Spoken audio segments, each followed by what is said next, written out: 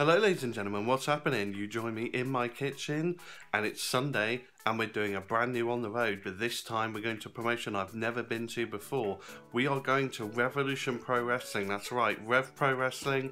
We're going to see them in Southampton today, so I'm chilling in my kitchen, having some breakfast this morning, haven't got to leave till a little bit later. Um, we're looking forward to a uh, Revolution Pro show, which i have never been to before. Obviously, I've seen them a lot. I've seen them on TV. Um, I've seen uh, a lot of their wrestlers in different places, but it's going to be really cool to see what the Rev Pro vibe is today.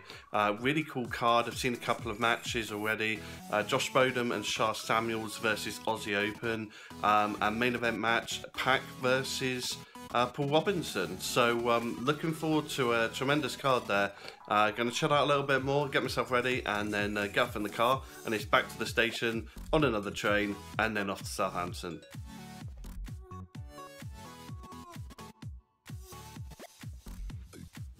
So here I am again, I am back in the train station car park, waiting for my train. Um, I'm staying in here for the moment because it is looking a little cold outside, uh, so just staying in here until I actually have to get out and go up to the platform.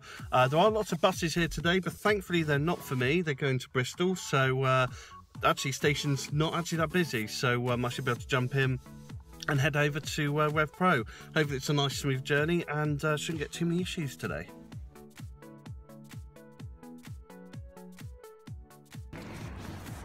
Right then ladies and gentlemen, what a nightmare. So I've got to Southampton but it wasn't easy. I forgot I had to print out tickets um, so I had to get here and then get through the barriers to then print out my tickets. So whatever you do kids, don't forget your tickets next time.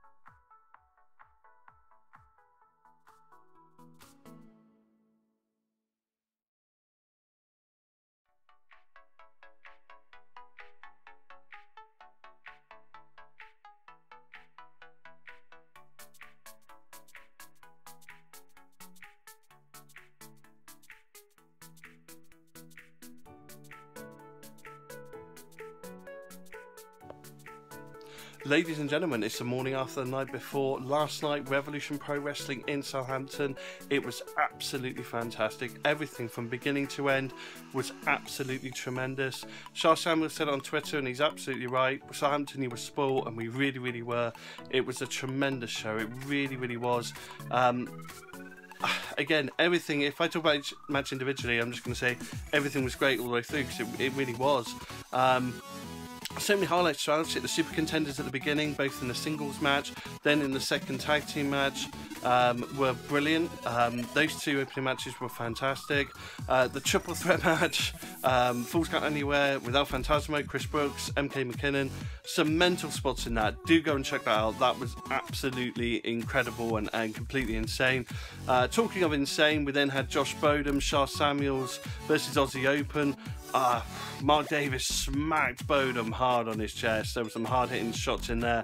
Bodom just incredible as usual. Sha Samuels um, just so entertaining. So make sure you check that one out as well. We then have Bobbi Tyler um, versus Emi Katura. Hopefully I said that properly. Not seen Emi Katura before. Um, I've seen uh, Bobbi Tyler a lot. This was this was a lot of fun. I enjoyed this. Um, they had uh, a lot of good hard hitting. Uh, there was a lot of good wrestling in it, but there was also a good bit of comedy in it as well. So it was a lovely mix there, um, and that was that was really cool. That was uh, a new wrestler, Emi Couture, that I hadn't seen, um, and something new and different uh, for me. So that was really really enjoyable. And in the main event, uh, Pac versus Paul Robinson. I'd seen the other Swords of Essex live, hadn't seen Paul Robinson live before. I'd seen Pac before um, a previous BLW show, um, but wow. um, remember the big spot, the Spanish fly at the top. Um, absolutely amazing. So, guys, if you want to go out and see Revolution Pro Wrestling, I highly recommend it. Go and check them out. Go to their next show and see what on earth they're going to put on next because it really, really was fantastic.